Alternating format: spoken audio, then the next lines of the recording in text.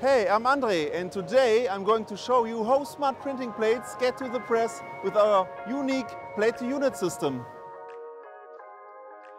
More output with less operators, this is what we want to achieve because one thing is clear, finding people for high workload jobs becomes more and more difficult. Imagine you have to change 8 printing plates every 3 minutes. How do you manage that? With plate unit, you just push in the plate trolley and for the next 10 jobs you don't care about plates at all. Prinect schedules the jobs in the optimum sequence and tells you which trolley is requested next. Same here at our fully automated Suprasetter line. Prinect makes sure that all plates are at the right trolley in the right sequence at the right time.